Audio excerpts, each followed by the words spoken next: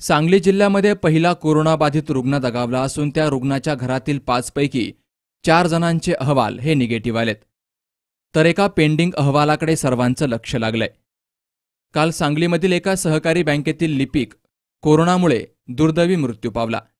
विजयनगर येथील बँक कर्मचाऱ्याचा अहवाल कोरोना पॉझिटिव्ह आल्यामुळं सांगली जिल्ह्यामध्ये खळबळ माजली होती. तर या घटनेनंतर जिल्हा प्रशासन आणि आरोग्य यंत्रणेनं त्या रुग्णाच्या कुटुंबियांना आयसोलेशन वॉर्डामध्ये दाखल केलं. तर संपर्कातील बावीस जणांना संस्था क्वारंटाईनमध्ये आणि त्रेचाळीस लोकांना होम क्वारंटाईन केलं होतं. काल सायंकाळी उपचारादरम्यान त्या रुग्णाचा मृत्यू झाला. त्यामुळं त्याच्या कुटुंबातील इतर अहवालांप्रकरणी उलटसुलट चर्चा सुरू होती. आज दुपारी त्या कुटुंबातील पाचपैकी चार जणांचा अहवाल हा निगेटिव्ह आलाय. तर एक जण तर एक अहवाल अद्याप पेंडिंग आहे. तर मयत झालेला रुग्ण राहत असलेला विजयनगरचा परिसर बफर झोन जाहीर करण्यात आलाय. तर शहरातील प्रमुख सांगली मिरज रोड चौदा दिवसांसाठी बंद करण्यात आलाय. तर प्रमुख मार्ग पोलिसांनी सील केल्यामुळं सर्वत्र सन्नाटा पसरलाय. महापालिका प्रशासनानं तो रुग्ण कामास असलेली ती बँकही सील केली आहे. काल आपल्याकडं जी विजयनगरमधील व्यक्ती आयसोलेशन कक्षामध्ये त्या व्यक्तीचा मृत्यू झाला. दुर्दैवानं हा मृत्यू आम्हाला टाळू शकलो नाही. कारण तो ज्यावेळी दाखल झाला त्यावेळीच त्यांची प्रकृती चिंताजनक होती.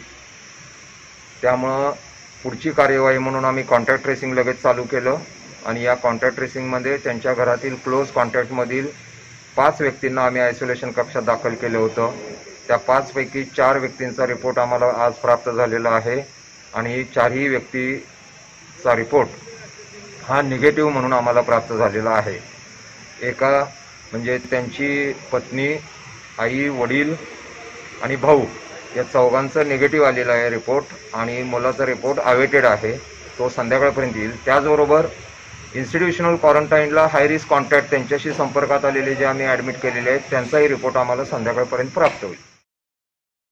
एकंदर जिल्हाधिकारी कार्यालय परिसरामध्येच कोरोना रुग्ण आढळून आल्यामुळं आरोग्य यंत्रणा सतर्क झाली आहे दरम्यान सांगली जिल्ह्यामध्ये इस्लामपूर पॅटर्न जरी यशस्वी झाला असला तरी महापालिका क्षेत्रामध्ये झालेल्या मृत्यूमुळं संपूर्ण जिल्हा हादरून गेलाय.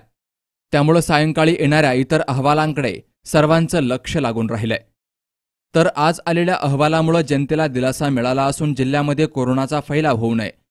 म्हणून प्रशासन उपाययोजना राबवत असून जनतेनं साथ द्यावी असं आवाहन कोरोना नोडल अधिकारी डॉक्टर संजय साळुंखे यांनी केलंय. Satish Chavan C news Marathi Sangli.